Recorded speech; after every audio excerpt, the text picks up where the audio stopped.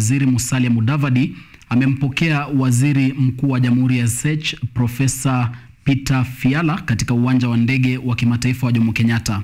Fiala kwa sasa yuko katika ziara rasmi ya siku tatu nchini Kenya ambapo anatarajiwa kufanya mazungumzo na maafisa wakuu serikalini na viongozi wengine kabla ya kupokelewa rasmi katika ikulu ya Nairobi na Rais William Ruto Jumanne.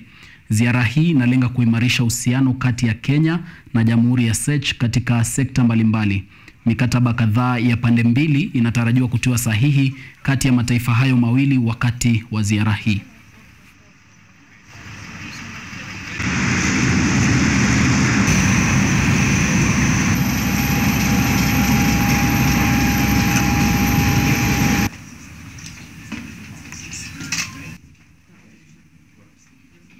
Excellency, please.